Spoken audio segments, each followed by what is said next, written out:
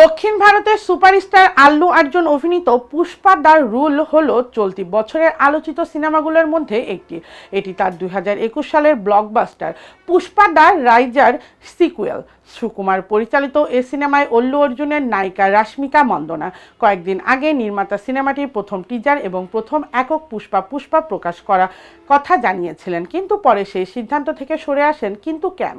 ভারতীয় গণমাধ্যমে জানিয়েছেন সিনেমাটি যিনি সম্পাদনা করছেন, অ্যান্টনি রুবিন, তিনি কাজ ছেড়ে চলে গেছেন। এ কারণে সিনেমাটির গান ও টিজার রিলিজ করা সম্ভব হয়নি।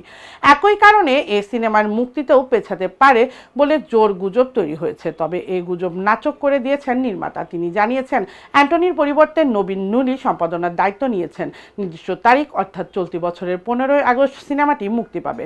ভারতীয় গণমাধ্যমে সিনেমার একটি সূত্র জানিয়েছেন, পুষ্পা টু যথাযথ সময়, অর্থাৎ পনেরোই আগস্ট মুক্তি পাবে। অল্লু অর্জুন চলিত মাসে তার অংশে সিনেমাটির শুটিং শেষ করবেন এবং জুনের মধ্যে সিনেমার বাকি শুটিং শেষ হবে।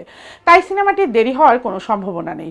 উল্লেখ্য, এ সিনেমায় আল্লু অর্জুন একজন চন্দন কাঠের পাচারকারীর চরিত্র এবং রাশ্মিকা তার প্রেমিকা শ্রীবল্লীর ভূমিকায় অভিনয় করছেন।